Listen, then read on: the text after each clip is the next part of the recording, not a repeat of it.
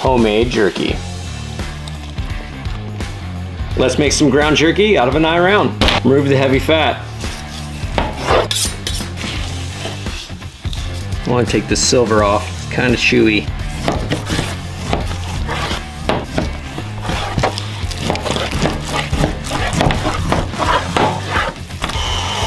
Three pounds of beef Worcestershire, quarter cup, half a cup of soy sauce, quarter cup of brown sugar, one teaspoon of garlic powder, one teaspoon of onion powder, one teaspoon of black pepper, and to kick up the heat, this has some cayenne in it, one tablespoon of ultimate pork. Mix it up real good, and then put it in your refrigerator for 24 hours. Gonna get a little bit of the moisture out of it. It's okay, little guy, you're gonna make some good jerky.